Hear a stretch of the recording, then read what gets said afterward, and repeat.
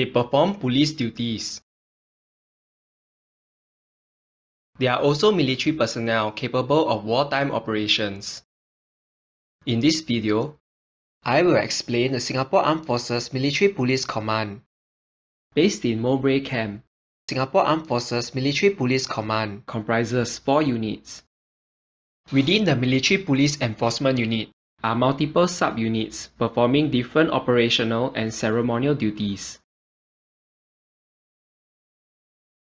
The Law Enforcement and Ceremonial Company is responsible for upholding the discipline and public image of Singapore Armed Forces. They regularly conduct spot checks for contraband items. They book offenders who commit offences such as smoking in uniform in public places and arrest military personnel who are AWOL. They are also trained in anti-riot operations in SAF camps. They also perform various ceremonial duties, such as the Istana Presidential Guards Platoon. They are supported by the Silent Precision Drill Squad and the SAF Band. The traffic platoon enforces traffic rules on the road. They also escort military vehicles if needed. They are basically the military version of the traffic police. The Special Security and Protection Platoon is an elite unit responsible for the close protection of key appointment holders in MINDEF and SAF. They perform a similar role to the Security Command of the Singapore Police Force. The Military Working Dog Unit, as the name suggests, is the working dog unit of the military police that supports law enforcement operations. Similar to the Police K9 unit, the Special Investigation Branch investigates serious military crimes whereby the Singapore Police Force does not have jurisdiction.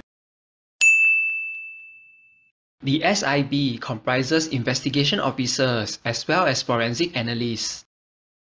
SAF Detention Barracks is responsible for the detention of military criminals. They perform a similar role to the Singapore Prison Service. The Island Defence Training Institute is responsible for providing military police training to various units, namely to infantry and guardsmen. Singapore Guardsmen or infantry wearing the military security or security trooper armband have gone through military police training.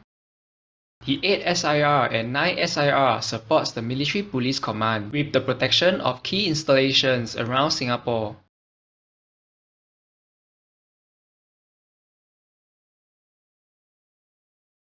Now you may be wondering, what do military police do during wartime?